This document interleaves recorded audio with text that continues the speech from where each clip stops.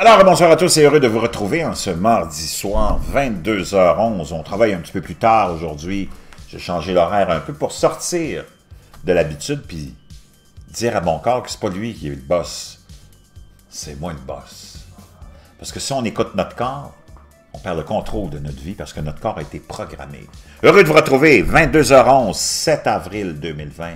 J'espère que vous allez bien. J'espère que vous vous occupez à autre chose que d'écouter les âneries, les idioties des médias et des médias euh, sociaux. Pendant ce temps-là, il y a plein de choses qui se passent au niveau climatique, puis demain, je vous invite à me rejoindre, parce qu'il est un petit peu tard pour ça, puis j'ai besoin de ma concentration, pour vous résumer les propos de Greg Braden concernant les changements climatiques. Vous allez être fasciné, honnêtement. Donc, ça ne vient pas de moi.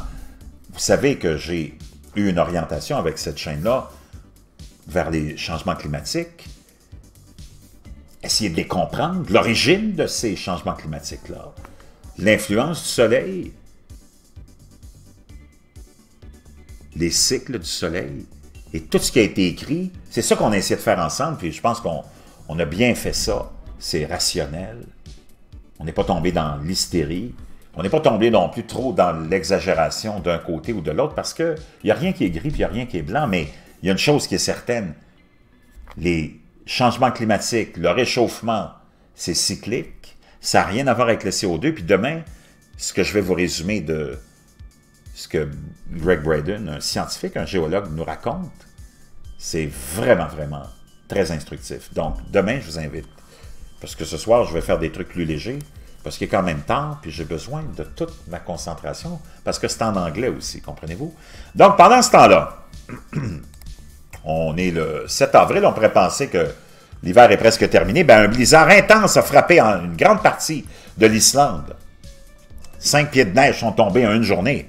On a oublié de vous raconter ça aujourd'hui dans les médias. Regardez la quantité de neige qui est tombée là, parce que naturellement, ça, c'est le genre de nouvelles qu'on n'aime vraiment pas publier dans les médias traditionnels, qui essaient de vous convaincre qu'il y a un réchauffement énorme qui est complètement loufoque et que c'est le plus grand réchauffement jamais vu, c'est un mensonge vraiment, vraiment lamentable, et que ça ne fait pas vraiment dans le narratif hein, de vous amener euh, cinq pieds de neige le 7 avril, quand on vous dit qu'on est dans la plus grande augmentation de température de l'histoire de la Terre.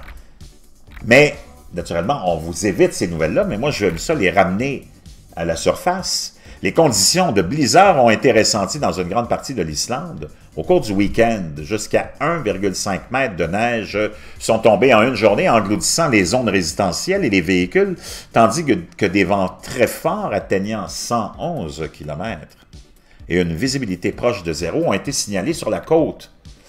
À Verragerdi, dans le sud-ouest de l'Islande, de nombreux habitants ont dû se détacher de leur maison après leur plus grosse tempête de neige qu'ils aient jamais vue dans leur ville. Près d'1,5 mètre de neige sont tombés en une journée, entraînant des conditions de voile blanc total. À Sigluforder, dans le nord de l'Islande, des voitures ont également été enterrées dans la neige. Selon le météorologue Inar Bjornsson, à la veille météorologique, il s'agit de l'événement météorologique le plus grave de la saison. C'est peut-être le pire, tant étant donné son étendue et le nombre de territoires qu'il a touché. Je vous laisserai, euh, il y a des images là-dessus, on peut voir ça ici, c'est complètement renversant. Pendant ce temps, dans les fjords occidentaux, le navire des gardes-côtes islandais Thor était en attente dans le fjord, où des vents de 111 km ont créé une visibilité proche de zéro. On voit rien aussi intense que ça. Regardez les images ici, complètement magnifiques. Wow!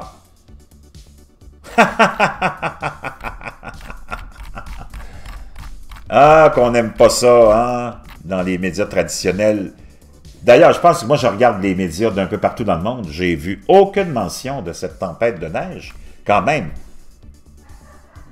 qui mérite d'être mentionnée. Je vous reviens.